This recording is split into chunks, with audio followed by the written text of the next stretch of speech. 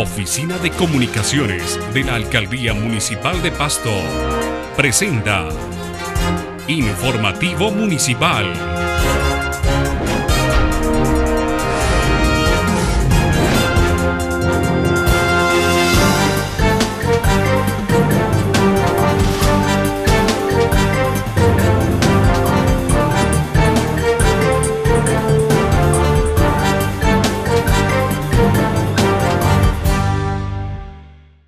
Bienvenidos al informativo municipal. Operativos adelantados por la Secretaría de Gobierno Municipal y la Policía Nacional permitieron establecer que muchos niños en Pasto prefieren jugar maquinitas en lugar de asistir a clases. Los niños en Pasto no están acudiendo a clases porque prefieren jugar a las denominadas maquinitas en las tiendas de la ciudad con la complacencia de sus padres de familia. Este menor fue sorprendido con su uniforme y morral escolar jugando con una máquina en una tienda del barrio Villaflor 2, en la cual un aviso decía, prohibido jugar menores de 14 años. Porque gana plata y todo eso. ¿Cuánto ganas más o menos? No, yo estoy, apenas vengo a jugar hoy. Se trataba de un operativo relámpago entre la Secretaría de Gobierno Municipal y la Policía Nacional encaminado a la retención de las maquinitas. Compita, de parte de la alcaldía. Ajá. Vamos a llevarnos una maquinita que tiene por acá afuera. Los mismos padres de familia son los primeros en reconocer que los niños están dejando de estudiar y se gastan la plata jugando a las maquinitas. Las monedas que le dan se, la- se las gastan en eso, pierden tiempo, faltan a veces a clase. Eh, se envician a tener plata y si no se les da plata se envician a robar, se envician a toda clase de cosas. Una tendera en el barrio Caicedonia reconoció que los operativos de las autoridades están bien encaminados porque buscan proteger la población infantil. Y imagínese usted si los niños no van a clase por venirse a meter acá. Entonces, sí, me parece que está bien.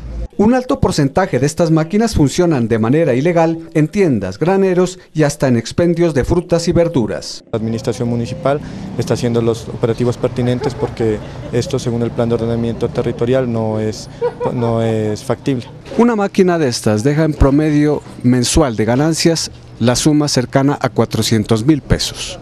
La Secretaría de Educación Municipal le puso la cara al problema y exigió un mayor control de los establecimientos educativos y los padres de familia. Todos los establecimientos educativos están en la obligación de llevar un control de asistencia.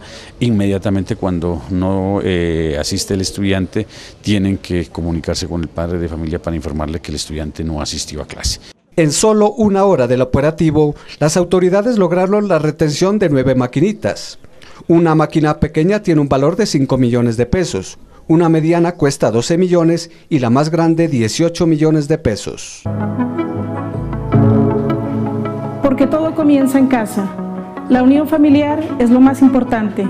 Si necesitas de nuestra ayuda para preservarla, llámanos. Secretaría de Gobierno, Subsecretaría de Convivencia y Derechos Humanos, Oficina Casa de Justicia, teléfono 729-2204, extensión 113. Tras una persecución cinematográfica, habitantes del barrio Mijitayo evitaron que el conductor de un vehículo involucrado en un accidente de tránsito que dejó a un motociclista gravemente herido se escapara. Hacia las 10 de la mañana la vida de dos conductores, uno de carro y otro de motocicleta, dio un giro de 180 grados. Y nosotros tenemos una distribuidora de pollo, él venía a distribuir, llegaba al local de distribuir pollo. Sobre la calle Quinta con 24 en la avenida Mijitayo, estos dos vehículos colisionaron aparatosamente. Por el fuerte impacto, el conductor de la motocicleta resultó gravemente herido. Eh, venía rápidamente descontrolado sobre esta vía y arrolló pues a la motocicleta que la vemos ahí, de- a lo cual rápidamente venimos a apoyar el casito, encontramos a un señor tendido en el piso. De acuerdo con las investigaciones preliminares, el accidente fue provocado por el presunto estado de alicoramiento del joven que conducía el automóvil, quien al percatarse de lo sucedido, de acuerdo con testigos, intentó huir del lugar del accidente. Cuando llegué lo alcancé a una esquina, lo alcancé, le dije, para, para, para. Le dije, no, que parara y no quiso, no quiso hacer caso, caso omiso. Entonces el man siguió, siguió derecho y, le hicimos la persecución con otros compañeros de la, de, de la motorizada. Hicimos, hicimos eh, lo que vimos aquí en la 16,23, ahí llegó a, a parar él. El implicado fue conducido hasta el Comando Operativo de Tránsito para la respectiva prueba de alcoholemia, mientras que el herido fue trasladado a un centro médico cercano.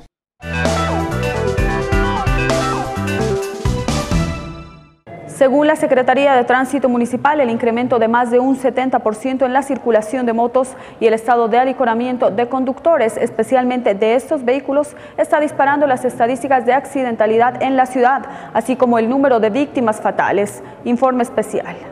De acuerdo con las estadísticas suministradas por la Secretaría de Tránsito Municipal, el 60% de los accidentes que se presentan en Pasto están relacionados con motocicletas. En el transcurso del presente año tenemos 1.389 eh, accidentes de tránsito, de los cuales tenemos 854 eh, heridos. De estos heridos eh, corresponden a 653 lesionados por motociclistas. De cada cuatro habitantes, uno tiene moto por su funcionalidad. Y la motocicleta sí es más, o sea, transporta más rápido y la economía, tanto de gasolina, de aceite, todo eso. Las vueltas se hacen más rápido en una motocicleta que en un carro.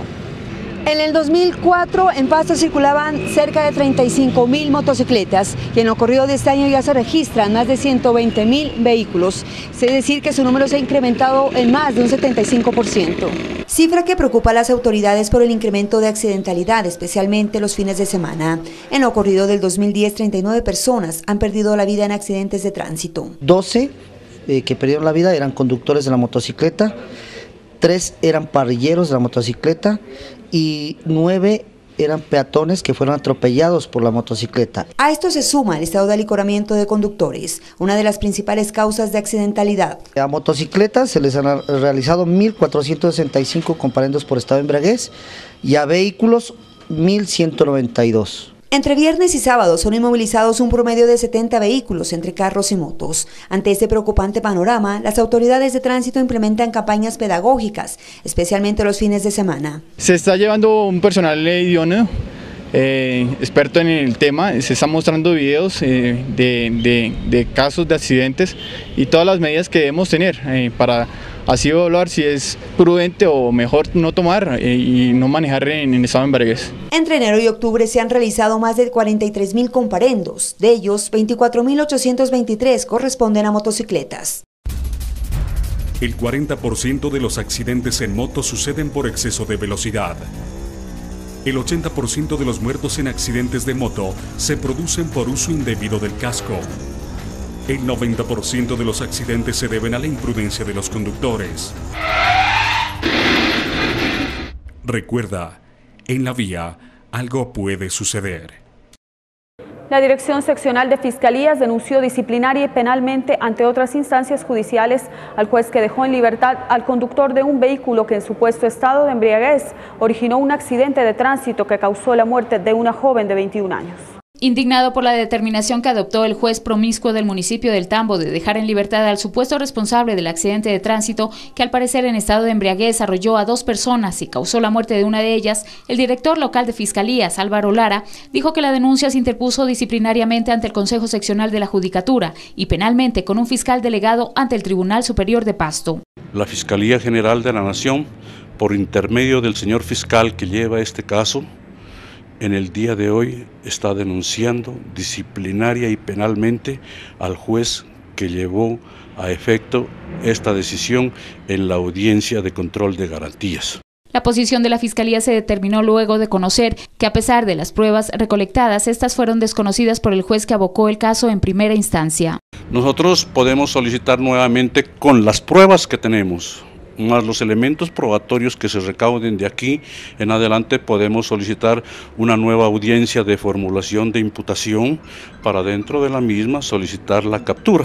Frente a este caso, la Fiscalía reconoce que existen en algunas ocasiones malos procedimientos de quienes deben impartir justicia en la región y que generan controversia y malestar en la comunidad. El gobernador de Nariño anunció que con o sin huelga de hambre mantendrá su posición de no renovar el comodato con la administración municipal del Coliseo Sergio Antonio Ruano. A partir del 1 de enero del 2011, las autoridades regionales retomarán el control del escenario deportivo. El candente tema del comodato por el Coliseo Sergio Antonio Ruano entre la administración departamental y municipal, analizando en las últimas horas en un agitado debate en el Consejo de Pasto, llevó a algunos cabildantes a proponer una huelga de hambre, que iniciará a partir del primero de noviembre si el gobernador no desiste de la idea. Si hasta el primero de noviembre no hay una respuesta concluyente de que seguiremos administrando el Coliseo cubierto, en Pasto habrá una huelga de hambre masiva. Aquí los bienes del municipio de Pasto no son del dueño, sino del, que los necesita. Y aquí Pasto Deporte ha venido cumpliendo a la comunidad y no podemos dejar en la, en, en la calle a los niños de las escuelas de formación deportiva y todos los eventos que nosotros venimos realizando en el instituto. La posición asumida principalmente por el concejal Gustavo Núñez generó opiniones divididas entre la comunidad. Del pueblo y para el pueblo, pues. Para nada. ¿Por qué? ¿No? O sea, me parece que no son los métodos, ¿no? ¿Cuáles serían los métodos? Pues el diálogo, supongo. A pesar de esta iniciativa, el gobernador de Nariño, Antonio Navarro Wolf, ratificó su decisión de no renovar el comodato con Pasto Deporte y enfatizó que a partir del 1 de enero del 2011 retoma el control del escenario deportivo. Me, parece exagerada, realmente me parece exagerada. No tiene sentido que se pongan a hacer que dejen las huelgas de hambre para algo importante. Pero es un desperdicio de de hambre, ¿no? Al parecer, a esta medida de hecho se sumarán deportistas y personas de la tercera edad.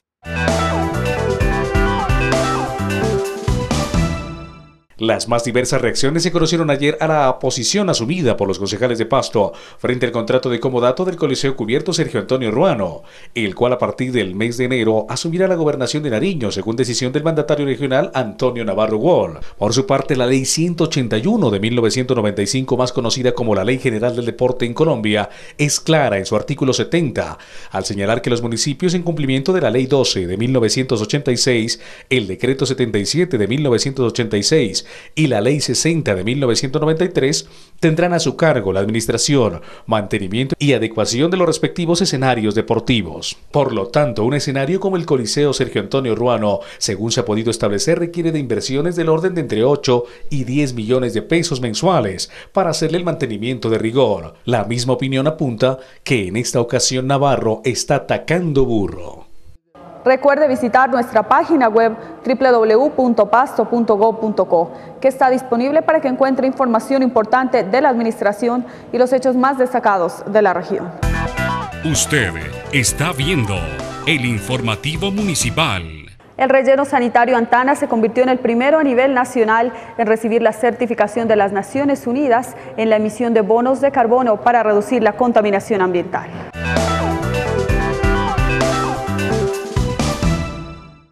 En ocho meses, la planta desgasificadora del relleno de Antanas, ubicado en la salida al norte vía Aboizaco, logró convertir más de 22.000 toneladas de gas metano en CO2. Son 22.800 bonos de carbono que, estamos hasta el 30 de julio. Esto equivale a cerca de 4.000 árboles sembrados, eh, que es un monto significativo, o a cerca de 3.000 vehículos dejados de funcionar y de emitir gases efecto invernadero. El convenio entre la empresa metropolitana de aseo e con Bionersis permitió obtener la certificación de Naciones Unidas.